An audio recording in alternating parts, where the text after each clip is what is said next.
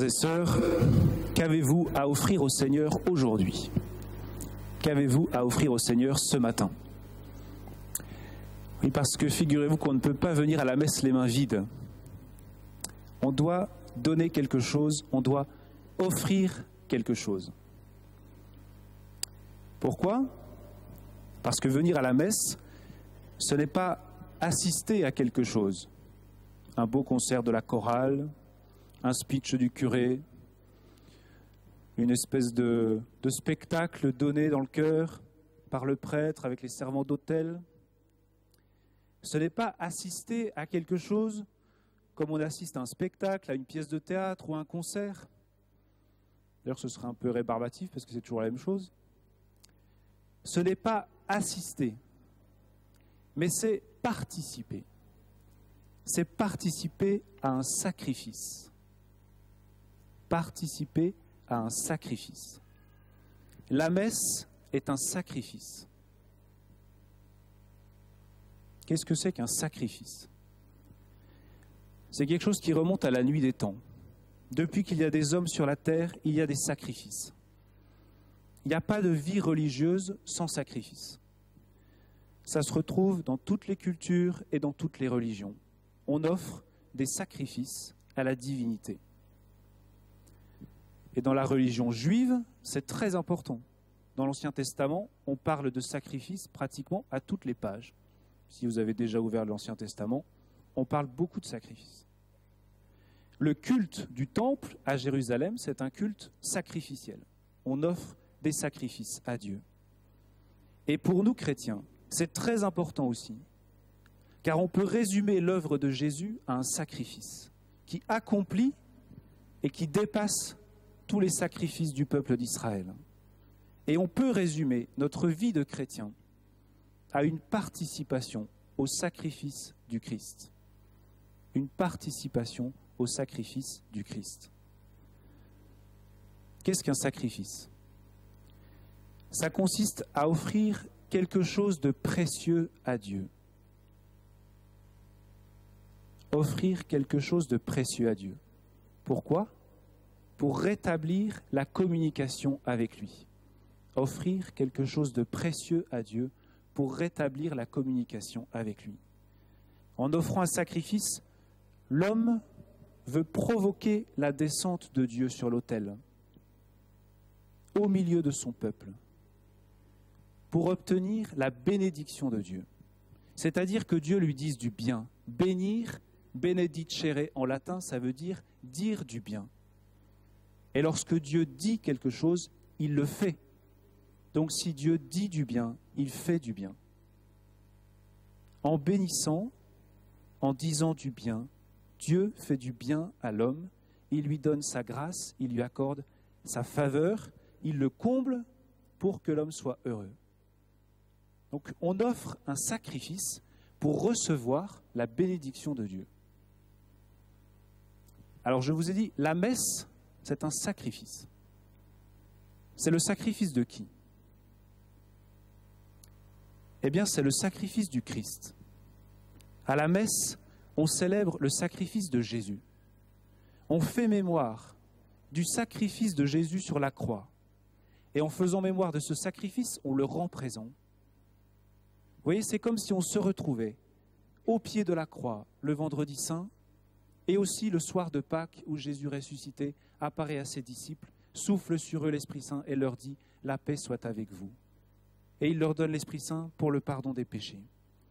La messe, c'est comme une grande machine à remonter le temps. L'espace et le temps est supprimé. On se retrouve à chaque Eucharistie au pied de la croix et au soir de la résurrection. Vous savez, après la consécration et l'élévation du corps et du sang du Christ, on chante l'anamnèse.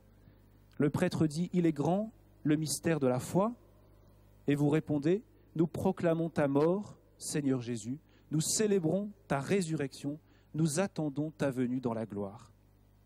Et ensuite, le prêtre, les mains étendues, dit ceci, en faisant mémoire de ton Fils, de sa passion qui nous sauve, de sa glorieuse résurrection et de son ascension dans le ciel, alors que nous attendons son dernier avènement, nous présentons cette offrande vivante et sainte. Nous présentons cette offrande vivante et sainte pour te rendre grâce, pour te dire merci. Regarde, Seigneur, le sacrifice de ton Église. Regarde, Seigneur, le sacrifice de ton Église et daigne y reconnaître celui de ton Fils qui nous a rétablis dans ton alliance. On demande à Dieu de reconnaître dans ce sacrifice que l'on fait le sacrifice du Christ. Donc vous voyez à la messe, l'Église offre un sacrifice par les mains du prêtre, et ce sacrifice qu'elle offre, c'est celui du Christ. Regarde le sacrifice de ton Église et daigne y reconnaître celui de ton Fils. Quel est ce sacrifice du Christ? Eh bien, la lettre aux Hébreux, je ne sais pas si vous avez remarqué, mais depuis début octobre, nous entendons la lettre aux Hébreux dans la deuxième lecture. Alors je vous encourage à reprendre l'intégralité de cette lettre, peut-être, dans votre prière. Peut-être que vous ne l'avez jamais lue. Ah. Cette lettre, c'est parfois un peu compliqué, mais ça explique le sacrifice du Christ. Qu'est-ce que Jésus a offert en sacrifice? Il n'a pas offert à son Père une offrande végétale, de l'huile, de la farine, des galettes, de pain. Ça, c'était possible dans l'Ancien Testament. On faisait des offrandes végétales. On offrait les prémices de la récolte à Dieu. Il n'a pas fait ça. Il n'a pas offert de l'argent non plus. Il n'a pas offert un sacrifice de taureau, un bouc ou un agneau en versant leur sang. Vous savez, à Jérusalem, tous les jours, les prêtres, c'est les bouchers. Hein. Ils sacrifient les animaux, le sang est versé, et puis on offre, on fait brûler des animaux pour Dieu. Jésus n'a pas offert un taureau, un bouc, un agneau. Jésus n'a pas offert le sang d'un animal. Il s'est offert lui-même. Il s'est offert lui-même. Il a donné sa vie. Ma vie, personne ne la prend, dit Jésus. C'est moi qui la donne. Il a offert son corps. Il a versé son sang en sacrifice sur la croix. Il s'est donné lui-même. Une fois pour toutes, comme le dit la lettre aux Hébreux. Une fois pour toutes. Voyez Et ce sacrifice du Christ, c'est le sacrifice parfait. Parce que dans ce sacrifice, c'est Dieu lui-même qui est à la fois le prêtre, parce que c'est lui qui offre le sacrifice, Jésus est Dieu, et c'est lui qui offre le sacrifice, donc c'est lui le prêtre. Mais c'est aussi lui la victime qui est offerte, parce qu'il s'offre lui-même. Donc Jésus est le prêtre, puisque c'est lui qui offre, il est la victime, parce qu'il est celui qui est offert, il s'offre lui-même, et il est aussi l'autel, car il est le lieu du sacrifice. C'est son corps où le sang est versé. Et comme Jésus est sans péché, eh bien son sacrifice est parfaitement pur et saint. Son sacrifice est parfaitement pur et saint puisqu'il est sans péché. Et comme c'est le sacrifice parfait, eh bien ce sacrifice obtient la plus grande des bénédictions possibles, c'est-à-dire le pardon des péchés, la réconciliation avec Dieu le rétablissement de cette communication avec Dieu pour toujours. Avec le sacrifice du Christ, le lien entre les hommes et Dieu est ouvert pour toujours. Le ciel est définitivement ouvert. Nous sommes réconciliés. Ce sacrifice nous obtient le pardon des péchés, nous rétablit dans l'alliance. Le Christ s'est offert une fois pour toutes, dit la lettre aux Hébreux qu'on vient d'entendre, pour enlever les péchés de la multitude. Non seulement les nôtres, mais ceux du monde entier. Et vous savez, la veille de sa mort, le jeudi saint, eh bien Jésus a inventé l'Eucharistie. Il a inventé la messe pour que chaque jour, et en particulier le dimanche, nous fassions mémoire de ce sacrifice, de ce sacrifice qui nous sauve. Mais on ne fait pas verser à nouveau le sang du Christ. On l'offre de manière sacramentelle à travers le pain et le vin, Jésus a inventé ce sacrement à offrir chaque jour et chaque dimanche jusqu'à ce qu'il revienne. Il a pris du pain et du vin et il a dit, Ceci est mon corps, mon corps livré pour vous. Ceci est mon sang versé pour vous. Faites cela en mémoire de moi. Faites cela en mémoire de moi. À chaque fois qu'on célèbre la messe, on célèbre par un sacrement le sacrifice de Jésus. On offre au Père le sacrifice de Jésus, le pain et le vin devenus son corps et son sang, comme il nous a dit de le faire.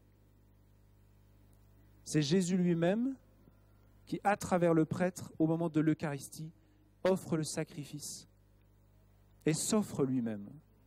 Pourquoi? Pour que nous recevions ici et maintenant le pardon des péchés, la réconciliation avec Dieu, la bénédiction de Dieu, le salut, son amour qui remplit nos cœurs.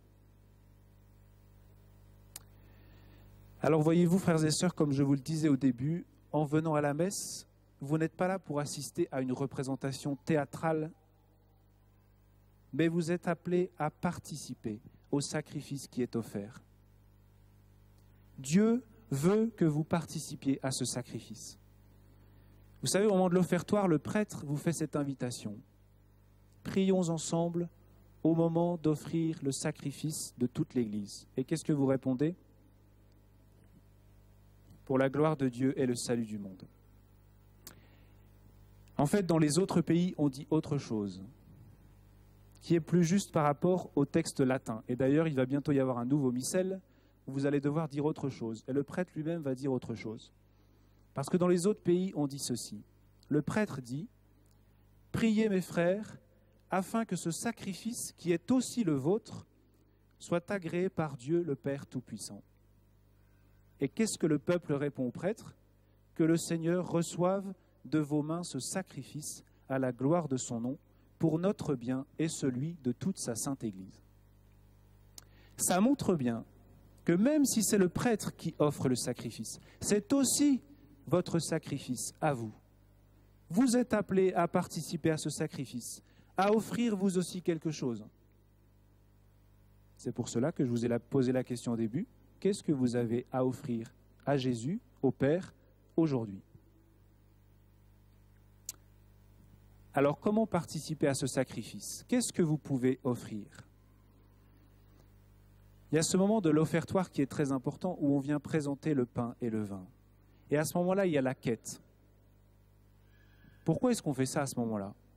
Parce que la quête, cette offrande concrète, matérielle de votre argent, eh c'est le signe de votre participation concrète à cette offrande. L'idéal, ce serait que chacun amène du pain et du vin. Mais bon, c'est un peu compliqué de faire ça. Donc, on vous fait passer euh, une corbeille et vous mettez de l'argent. Mais c'est votre participation concrète à l'offrande qui est faite du pain et du vin. Mais ce qui compte et ce que Dieu attend à ce moment-là, et pour toute la liturgie eucharistique, c'est que vous vous offriez vous-même. Saint Paul dit dans la lettre aux Romains, vous pouvez euh, écrire cette phrase sur euh, le miroir de votre salle de bain ou je ne sais où, pour la lire souvent. Romains chapitre 12, verset 1. Je vous exhorte, mes frères, par la tendresse de Dieu, à offrir vos personnes en hostie vivante, en sacrifice saint capable de plaire à Dieu. C'est là le culte spirituel que vous avez à rendre. Le culte chrétien, frères et sœurs, ce n'est pas d'offrir des boucs et des, et des, et des taureaux en sacrifice, ce n'est pas d'offrir du pain, de la farine, euh, tout ce que vous voulez, les prémices de la récolte, c'est de vous offrir vous-même en sacrifice saint, parce que c'est cela qui plaît à Dieu. Il ne s'agit pas d'offrir de son superflu, mais de son nécessaire. S'offrir soi-même. Voilà le lien avec les veuves des lectures. La première veuve, celle de la première lecture et aussi celle de l'Évangile, elles ont donné tout ce qu'elles avaient pour vivre. Elles se sont données elles-mêmes. Vous voyez Elle ne savait pas si demain elle aurait encore de quoi vivre. Elle a tout donné, elle a donné sa vie. Ces veuves-là, elles étaient prêtes à mourir. Elles étaient prêtes à ce que leur offrande leur coûte la mort, parce qu'elles ont tout donné. Ça ne veut pas dire que là, vous devez verser, euh, vous devez tout donner, tout votre compte en banque. Ça veut dire que ce qui plaît à Dieu, c'est la confiance. c'est la confiance.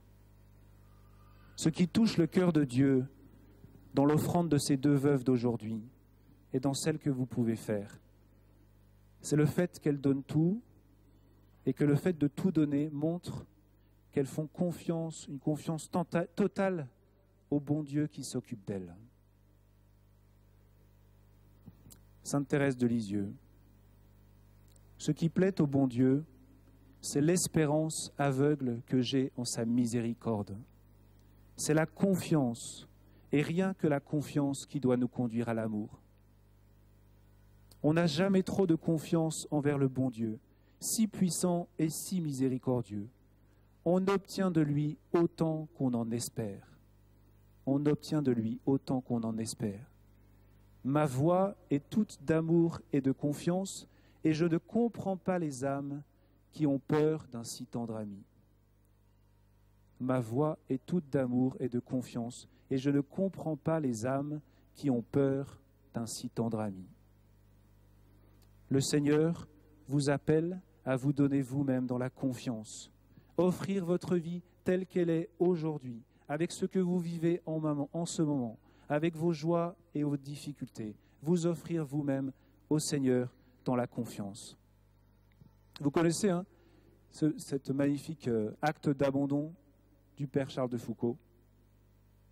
Mon Père, je m'abandonne à toi. Fais de moi ce qu'il te plaira. Je suis prêt à tout, j'accepte tout, pourvu que ta volonté se fasse en moi et en toutes tes créatures. Je ne désire rien d'autre, mon Dieu. Je remets ma vie entre tes mains.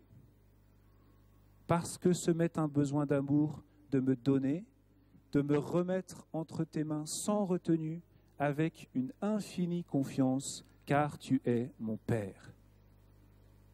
Car tu es mon Père.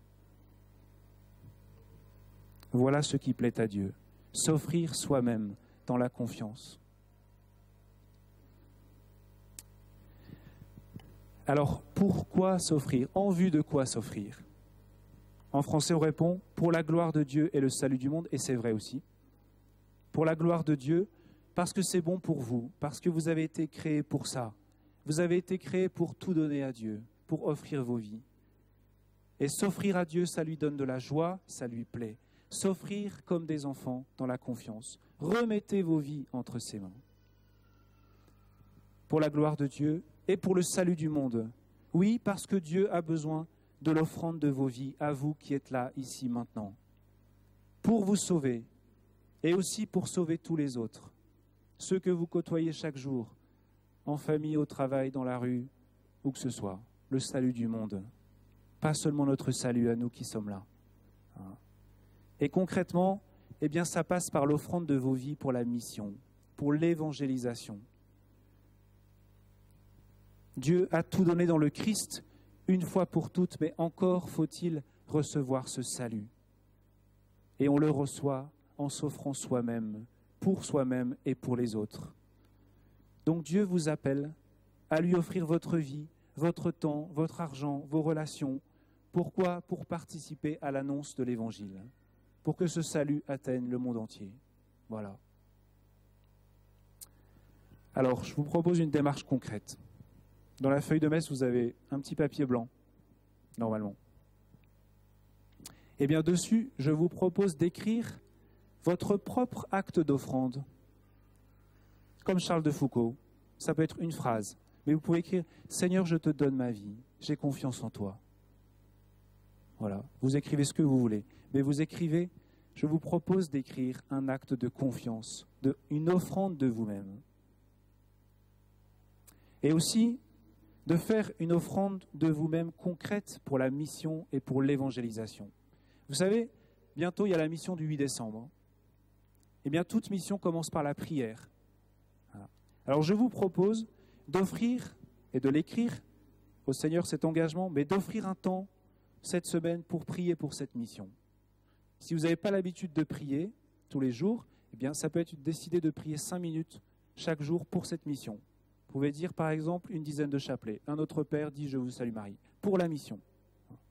Si vous avez déjà l'habitude de prier, eh je vous propose de décider de venir adorer le Seigneur dans son Saint-Sacrement, une demi-heure, une heure, comme vous voulez, mais pour cette mission, cette semaine. Qu'est-ce que vous allez demander dans cette prière? Vous allez demander au Seigneur le désir d'évangéliser, d'abord, le désir de participer au salut du monde, et concrètement par cette mission-là, et de consacrer du temps pendant ces quatre jours pour accueillir tous ceux qui entreront. Et vous allez prier aussi pour qu'il prépare votre cœur et qu'il prépare le cœur de toutes les personnes qui entreront ici, pour qu'elles découvrent l'amour de Dieu, le salut de Dieu pour elles. Voilà, donc sur ce papier, un acte d'offrande de vous-même et une décision concrète cette semaine pour prier pour cette mission. Et vous mettez ça dans la corbeille de la quête, avec votre offrande. Que les pièces ou les billets que vous mettez dans la quête soient accompagnés de cette offrande totale de vous-même, car c'est cela qui plaît à Dieu. Et tout cela, eh bien, je l'offrirai avec vous à l'autel. Je l'offrirai au Père avec le corps et le sang du Christ. Et votre sacrifice à vous sera uni par l'Esprit Saint à celui du Christ dans l'Eucharistie. Par lui, avec lui et en lui, à toi, Dieu le Père Tout-Puissant. Amen.